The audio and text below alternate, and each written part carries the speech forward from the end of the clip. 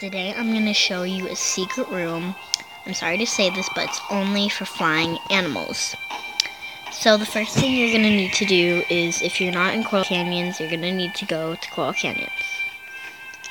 So the next thing you're going to do is you're just going to kind of um, follow me, I guess.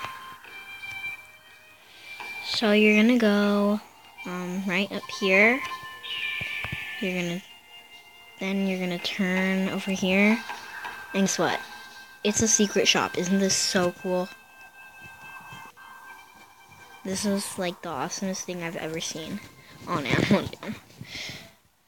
So yeah, there there's some really cool stuff up here. I saw it before, and it's awesome.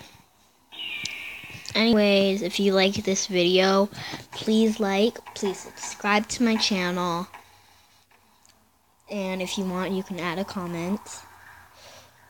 And thank you so much for watching this video.